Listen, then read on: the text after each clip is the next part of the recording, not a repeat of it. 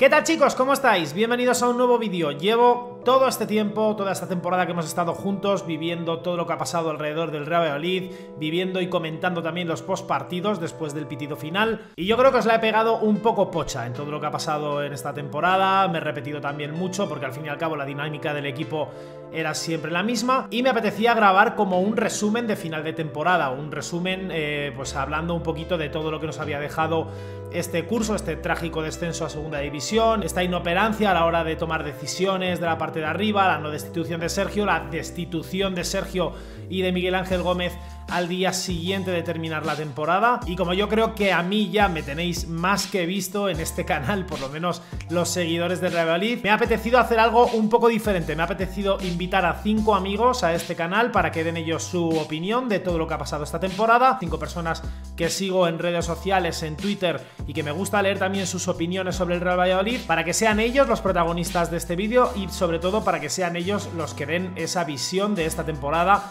del Real Valladolid. Espero que os guste. Eh, bueno, pues el año del Crucela yo creo que ha sido evidentemente ha sido, ha sido muy malo. Eh, lo que mal empieza, mal acaba. Creo que el año empezó mal. Mm, todos lo mismos. Eh, había alguno que creía en una posible remontada del equipo, que el equipo iba a jugar mejor. Había mimbres, supuestamente. Pero no, Sergio no se ha hecho con el equipo, en ningún momento ha sido capaz de hacerse con el control del vestuario y yo creo que al final, bueno, pues eh, se le ha venido grande. Más allá de eso, ha habido errores por parte de todos. Ronaldo por no echarle en su momento, creo que también la dirección deportiva, Miguel Ángel Gómez hace una plantilla que es buena, pero que no es buena para Sergio. Yo creo que cuando un director deportivo hace una plantilla, lo único que tiene que hacer es fichar jugadores que sean que sean del gusto y sobre todo de que pueda el entrenador potenciarles. Y yo creo que esos, jugadores que le, ha traído Mag, Miguel Ángel Gómez, creo que no eran válidos para ello. Jan Conde es un jugador perfil de Sergio González, Roque Mesa, aunque lo pudiera Sergio González, no es un, no es un jugador perfil Sergio, eh, Jota no es un jugador perfil Sergio, Weisman no es un jugador perfil Sergio, porque Weisman es un delantero que es de área, como Luis Suárez, como de hecho Simone dijo de Luis Suárez que era en su zona, para ello, el Atlético de 16 años, por ejemplo, ha tenido que jugar más adelantado. Ha tenido que intentar jugar más cerca del área. ¿Para qué? Para potenciar a Luis Suárez. Sergio no es eso. Sergio eso no sabía hacerlo, ni ha creído en ello, ni, ha potenciado a un jugador como Weisman. Al final, pues, si Sergio quiere a Budimir, pues tendrá a Budimir, macho. Y si no, no cuente con Sergio. Yo creo que de ahí, de ese error, vienen todos. Luego, evidentemente, Sergio es lo que es. Es un entrenador que no es capaz de jugar a la otra cosa que no sea lo que cree que no es capaz de adaptarse a otra cosa, que es un entrenador que todos sabemos y hemos visto ya, creo que todo el mundo lo reconocerá, que es un poco plano, plano en el sentido de que sabe jugar con lo que él cree y a lo que él cree, y si sacamos de ese contexto, de ese libreto, es la nada. Eh, entonces, bueno, pues al final se consumió el descenso, que creo que era, ha sido justo, no por mala suerte, ha sido justo, merecido. Y el fútbol ha sido justo por una vez con, con Valladolid, porque llevaba un año y medio siendo un poco injusto porque yo creo que hemos sacado más resultados de lo que merecíamos por juego. Al final el fútbol te pone en lugar. Nuestro lugar en segunda división y a partir de ahora veremos. Sergio y Miguel Ángel Gómez están fuera. Para mí ambos deberían estar fuera. Es una decisión que comparto. Eh, Sergio porque no ha sabido sacar el proyecto y Miguel Ángel Gómez porque no ha sabido hacer un equipo para que Sergio, que era su entrenador en el que él confió, sacara el proyecto adelante. Así que, proyecto nuevo y ahora ilusionarse quién sabe. Yo me ilusiono rápido, pero claro, estamos en un momento en que Baptista tal. Bueno, confiamos. Como siempre dice la gente de Twitter, hay que confiar y ser positivos. Positivos. Eh, primero o segundo objetivo. Ya está, es lo que hay. Plantilla de cuántos jugadores. Gracias, Maja. Hola Samu, hola gente. Llegó el descenso. Estaba claro, pero no deja de ser menos doloroso. Eh, causas para mí que han llevado a cabo el fracaso del Real Valladolid. Empezamos. Ronaldo. Cuando compras un equipo de fútbol y lo tienes como un juguete, mm, el fracaso está asegurado. No se ha dejado ver, nunca ha estado involucrado. Nos venden de que sí, se trabaja desde Madrid, pero en realidad se pone a jugar al tenis jugando su equipo cuando una empresa, el, director no está pendiente de los empleados, al final los empleados dejan de hacer menos, dejan de hacer menos, dejan de hacer menos y la ruina. Director deportivo. Cuando un director deportivo da cierto poder a ciertos jugadores, le renueva por algo, mm, no sé, por amistad, como pasó con Moyano o Antonito, en vez de por rendimiento deportivo o dar un salto de calidad, pues al final a la larga sucede lo que ha pasado. Sí, los dos no están en, no están en el equipo, pero ha sido eh, el principio del fin. Renovar a jugadores como Miche por premio en vez de por cualidades deportivas dice muy poco. Además, cuando traes a los jugadores que no te pide el entrenador, pues al final es como como caer en el vacío tu trabajo. Traes a Porro, traes a De Frutos, traes a Benalfa, traes a Beisman, traes a Roque Mesa. Y el jugador les desprecia. Hay, hay algo que falla. ¿Qué más? Mm, Sergio González. ¿Por dónde empezar? Cuando un entrenador te empieza a vender películas, empieza a crear una bola, empieza a pensar que si el COVID, solo tenía COVID de Valladolid, cuando empieza a decir que viajar el mismo día de partido eh, no está bien, cuando empieza a decir que Beisman no juega porque no habla español, cuando empieza a decir que jugar en casa otorga al equipo de una presión que le impide ganar, pues oye, trabaja, que ha sido incapaz de hacer una doble sesión prácticamente en tres años. ¿Qué más? ¿Qué más? Mm, los jugadores, evidentemente. Los jugadores son también una parte muy importante del fracaso. Cuando en plena pandemia, por muy jóvenes que sean, te vas a Segovia, te haces fotos sin, sin mascarilla. Cuando desde casa, en las redes sociales, te pones como, como, como un glotón a comer hamburguesas, a fumar y a beber, cachimbas, cervezas o copas, pues hombre, al final empiezas a pensar y, analizas de que en el césped no vas a rendir. Cuando estás lesionado y te subes en una casa rural o un tejado, luego por muchos documentales que, te hagan, la imagen está ahí. ¿Qué más podría decir? Eh, el entorno. Mm, tertulianos, columnistas, incluso periodistas cuando buscas el trabajo fácil, filtraciones, a cambio de hacer la pelota, a cambio de favores, a cambio de crear una corriente a favor de un entrenador, pues a tu club no le estás haciendo nada bien. Cuando ves en las ruedas de prensa que solo preguntan tres personas y justifican el ganar un partido eh, de 20 o ganar 5 durante todo un año, pues hombre, por lo menos tápate un poquito la carita y disimula. Al final te das cuenta de que una de esas personas trabaja para el club, entonces la opinión crítica pues queda a un lado. Y para mí pues esto, todo, toda esta mezcla ha creado pues un descenso del cómo, cómo salimos de él. Entonces pues nada, habrá que seguir apoyando, habrá que seguir en el barco porque al final los que quedamos de verdad son los que nunca lo abandonaremos. Entonces, poco más que añadir. A Papucela y a ver si, si esta andanza por segunda acaba pronto. Chao. Hola Samu, hola a todos. Pues estamos aquí todavía un poco haciendo la digestión de lo que ha sido una temporada terrible, una temporada dolorosa. Yo por lo menos lo he vivido como una tortura que por fin, por fin se ha terminado. No sé si sonará mal, pero yo siento alivio de que se termine. Una temporada en la que nos han dado alegrías con cuentagotas. O sea, hemos ganado cinco partidos. Real Valladolid nunca había ganado tan poco, ni siquiera en ligas con 14 equipos.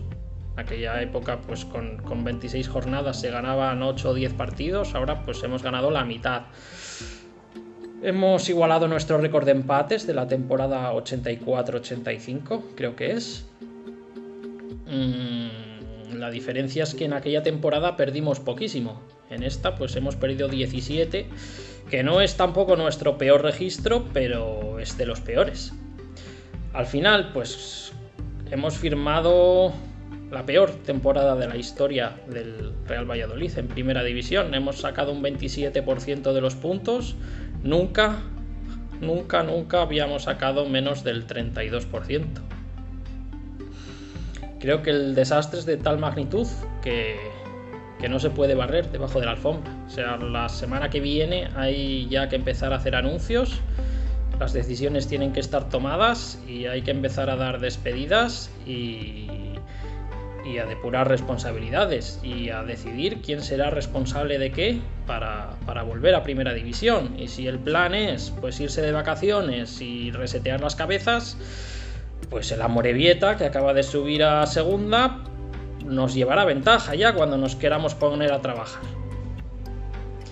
Yo siento que va a ser difícil. Creo que la mayoría de los aficionados del Real Valladolid tenemos al menos cuatro descensos en la memoria, algunos más, otros menos. Eh, los directivos del Real Valladolid no tienen ninguno, entonces no sé cómo se desenvolverán en esa situación. Yo creo que los aficionados tenemos claro lo que hay que hacer. De la directiva lo dudo, lo dudo mucho. Aún así, no debería ser difícil mejorar lo que hemos hecho esta temporada, ganar más partidos y tener más alegrías, más cosas que celebrar, aunque sean pequeñas victorias. Espero de verdad que así sea y que tengamos mucha suerte en la temporada que viene y en las siguientes, por supuesto. A Opa Pucela y nos vemos. Soy pesimista por naturaleza, pero debo reconocer que la marcha de Sergio González me alivia, me alivia muchísimo, la verdad. El descenso es muy doloroso, un descenso totalmente anestesiado por la imposibilidad de acudir al estadio y que la afición exprese su, su rechazo, sus sentimientos, sus sensaciones, sus emociones. Evidentemente para mí el principal culpable es Ronaldo Nazario, no por nada, sino porque ha permitido que esto se vaya de madre. Al final Ronaldo ha construido un proyecto bastante atractivo, se han hecho buenos fichajes, por eso no pongo quizá en el mismo saco a Miguel Ángel Gómez que a Sergio, aunque me parece bien que se vayan los dos, que el ciclo se ha acabado y hay que buscar otro. Pero Ronaldo Nazario ha permitido que lleguemos a este punto, básicamente el punto de no retorno, el punto de descenso eh, manteniendo a un entrenador que más allá de los números, que son los peores de la historia del Real Valladolid, a mí me deja la sensación de entrenador soberbio, de entrenador súper prepotente, de entrenador que nunca ha hecho autocrítica, que vivía de retando a la afición, retando a los medios de comunicación que no comulgaban con su idea, siempre menospreciando a los que no opinaban como él un entrenador eh, con un único librillo en el mundo del fútbol, pero que además es un librillo hiper caduco, basado en el que no pase nada, en el partidos largos y líneas juntitas, que eso está bien cuando acabas de llegar a primera división y no te conoce nadie, pero que a partir de la segunda temporada ya se vio que, ese planteamiento arrastraba muchísimas fisuras. Espero que Sergio no vuelva a Valladolid ni para comer lechazo, que no vuelva a Valladolid ni para repostar. Mm, de hecho, creo que vamos a tardar mucho tiempo en verle en un banquillo, salvo que ese tour que empezó la semana pasada a hacerse por las radios siga su curso y el hombre siga vendiendo su alma al diablo con tal de volver a un banquillo, lo más normal es que ningún director deportivo, ningún presidente se deje engañar tanto como para contratar a un entrenador que ya se fue mal del español por mucho discurso que él haga sobre el cambio de, de dueño y demás y que se ha ido muy muy mal del Real Valladolid. Espero que Ronaldo reaccione, ahora ya no le queda otra, la culpa es suya, los ojos van a empezar a mirarle a él más que a Sergio. Hace, falta mantener la estabilidad de este proyecto, mantener ciertos jugadores porque hay que ascender sí o sí la próxima temporada. Ya sabemos cómo es la segunda división. Si no asciendes la próxima temporada puedes pasar una larga, larga, larga etapa en el pozo. Nunca sabes Luego, una vez metido ahí, ¿cuándo vas a volver a subir? Por eso es tan duro un descenso. Así que, en modo resumen, soy pesimista por naturaleza, pero que se vaya Sergio González del Real Valladolid, de Valladolid, de la provincia, de Castilla y León y a poder ser de España, la verdad es que me llena de tranquilidad. Una afronta hasta con cierta, no ilusión, pero sí esperanza la etapa en segunda división porque tienes la sensación de que vas a volver a disfrutar del fútbol después de muchísimos meses de angustia, de, ver los partidos con desgana, de cabreo. En fin, Sergio, no vuelvas nunca y Real Valladolid vuelve pronto. Hola Samu, ¿qué tal? Eh, el análisis de la temporada para mí es muy sencillo. Creo que es un cúmulo de errores, de despropósitos y de malas decisiones desde el principio hasta el final y que deja unos culpables y unos responsables muy marcados, que en mi opinión son Sergio, la plantilla y Ronaldo. Sergio porque todos sabemos que es un entrenador con un estilo muy marcado y unas ideas mm, muy claras para él, que ni ha sabido ni ha querido adaptarse a las necesidades de, esta temporada tampoco ha sabido exprimir el potencial de una plantilla que lo tenía, que es cierto que esta, lo hemos visto en muy pocas ocasiones, pero lo tenía, pese a que la defensa este año ya ha sido un completo desastre, la plantilla era mejor que otras, que otras veces y había que haber intentado buscar un estilo alternativo, por lo menos para hacer brillar a algunos jugadores que aportaran pues, más luz o algo diferente a lo que hemos estado habituados. Y es un entrenador que sobre todo mmm, no ha hecho autocrítica en ningún momento, siempre ha tenido alguna excusa, mm, por momentos ha culpado a la afición, por momentos ha culpado a la prensa, se ha escondido detrás de los jugadores culpándoles a ellos por los errores individuales que es cierto que han cometido, pero que tampoco puede servir para, para que un entrenador profesional se proteja. Básicamente porque lo que para mí demuestra eso es que hay una falta evidente de trabajo. Cuando un jugador se equivoca una o dos veces, pues es algo que puede pasar, pero cuando se equivoca habitualmente, casi cada jornada, y casi siempre de la misma manera, lo que falta ahí es, es trabajo. Eh, los entrenamientos, pues estar más encima del jugador, saber corregir esos errores. Sergio además siempre ha sido supuestamente un entrenador defensivo y, y, este año no, no, ha sabido corregirlo y en el momento en el que tienes jugadores que no son capaces de hacerlo, lo que hay que buscar son otros planteamientos, otras ideas, otras alternativas que, como digo, no ni ha querido ni ha sabido encontrarlas y, y al final pues nos, vamos, nos hemos ido a segunda con, con la sensación de que hemos intentado toda la temporada hacer lo mismo con la esperanza de obtener resultados diferentes, cosa que para mí no tiene ningún sentido. Luego los jugadores no han mostrado ni orgullo ni carácter durante ningún momento de la temporada y lo que para mí es peor es que no han empatizado con una afición que este año ha estado desplazada porque no hemos podido estar en el estadio e incluso dejando la sensación, que para mí es de las peores, que es de que a algunos jugadores les ha dado completamente igual lo que haya acabado pasando con este equipo. Eh, allá cada uno con, con su pensamiento, pero Solo esa sensación ya es extremadamente dolorosa. Y luego, pues Ronaldo, por supuesto, es el, el, dueño y el máximo responsable de haber mantenido al entrenador que nos lleva a segunda división, que por cierto nos deja en el mismo sitio donde nos cogió. Por mi parte, cero agradecimiento, sobre todo porque las temporadas que hemos estado en primera tampoco podemos decir que las hayamos disfrutado al máximo. Pero como decía Ronaldo, eh, el dueño, la cara visible de un proyecto al que él llegó diciendo que no, iba, que no iba a estar de vacaciones y que este año no lo parece porque ha estado más pendiente del tenis, de las portadas en las revistas y de su propio documental que del día a día del club. Yo no sé si es verdad que él de puertas hacia adentro ha estado, desde luego de, de puertas hacia afuera no. Y eso, siendo él quien es, pues se ha echado de menos. Y por último, eh, nos han vendido la moto toda la temporada de que el fútbol ha sido injusto y nos debía una y en mi opinión nada más lejos de la realidad. El fútbol nos ha puesto en nuestro sitio, el fútbol ha sido completamente justo y si el Real Valladolid ha acabado en segunda división es única y exclusivamente por responsabilidad nuestra. Es un equipo que no ha hecho absolutamente nada por intentar salvarse. Era una temporada en la que era facilísimo y si el Real Valladolid está en segunda división es porque 38 jornadas no engañan a nadie, nos ponen a todos en nuestro lugar. Y tristemente esa es la realidad.